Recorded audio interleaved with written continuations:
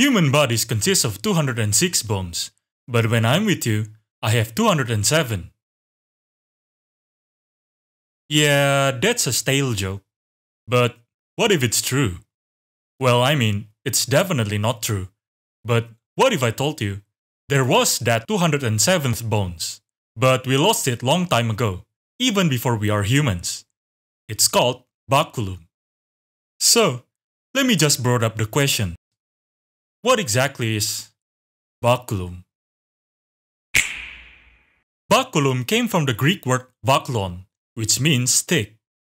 In anatomy, baculum is called os penis, or os genitale, or os priapi. Well, now you could already guess what it is.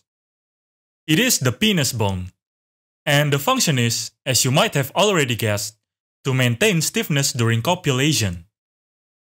Many animals have them, including primates, but not in the human lineage. At least, we know these animal groups have them, which are Ordo Rodentia, Ordo Eulipotyphla, Ordo Carnivora, Ordo Chiroptera, and Ordo Primates. Do notice that not all members have it though. We are the prime example for that. Oh and, yes, Deer also don't have baculum if you are wondering. There are various forms of baculum. For example, coyote and bear have a relatively straight baculum, while raccoons have a curved one.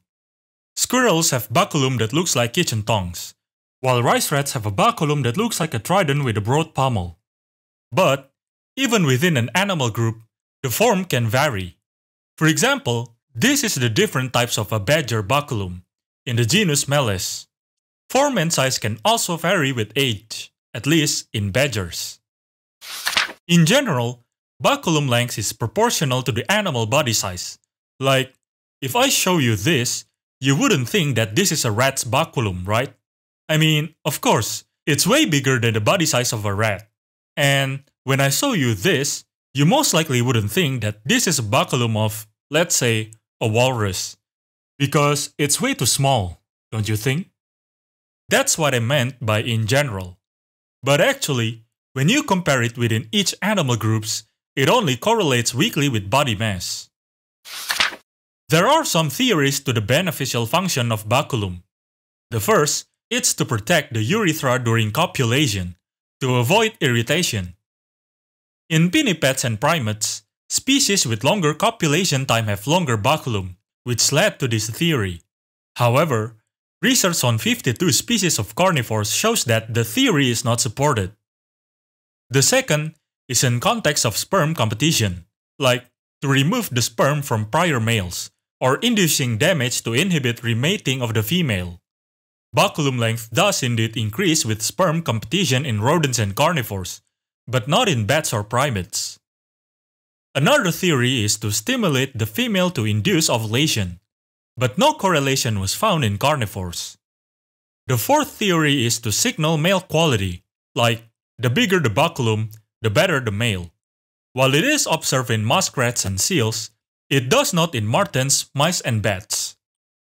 But then, what does all of these means? Well, it means that there is no general answer to the benefit of baculum. But why though? Research in 2016 had found that Apparently, during mammalian evolution, baculum evolved independently, and multiple times. It was also lost multiple times. And so, different groups of animals have different condition for baculum. That's why the beneficial function is also varied between groups.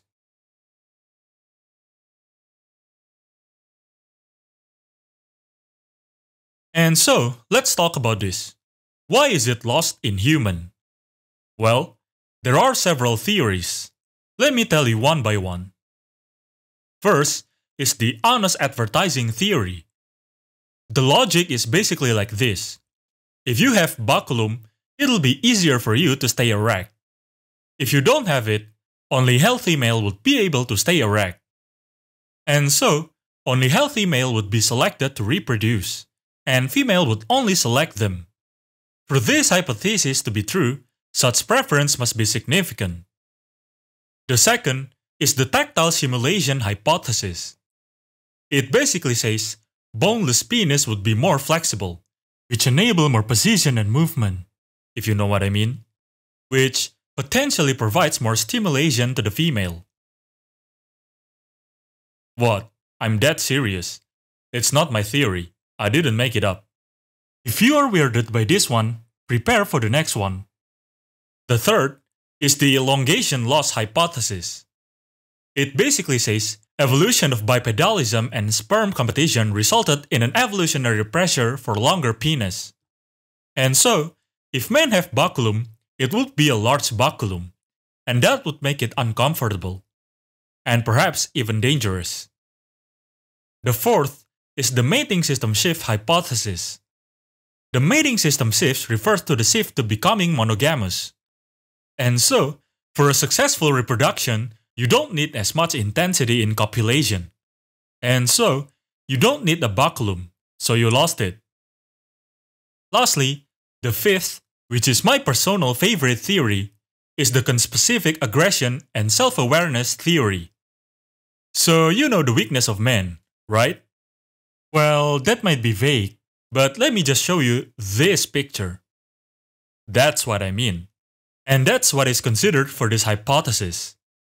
So, I'm sure many people know that this is effective in incapacitating a man. Now, imagine, what if you have a bone there? Not only will it be painful, you'll risk it breaking. And imagine you always rely on the bone to be erect. What if it breaks? See what I mean? Basically, men will just target each other's crotch to remove them from competition. Baculum broken? It's basically GG for that person. That's why we lost them. So we don't get instant disqualification in reproduction if someone hit our crotch. Well, that's just a theory of course. Nothing decisive yet. Alright, so, I would also like to talk a little bit about hemibacula while we are talking about baculum. While yes, other animals don't have baculum, at least as far as we know, but monitor lizards have a similar structure. Well, Monitor lizards don't have a penis. Instead, they have hemipenis, which is basically just a penis, but branched, like two penises. And so, while penis have bacula, hemipenis have hemibacula. That's the extent of my explanation for now. I'll explain it further when I'm talking about monitor lizards. For a future video, I mean. And so, there you go. That's about baculum. It's just a simple, singular, small bone, but it could have various beneficial functions, various mystery for zoologists to wonder. Even the fact that we don't have them is a topic of wonder. Who knows what we would discover in the future? For now, let's just learn what is known. And that's all for now.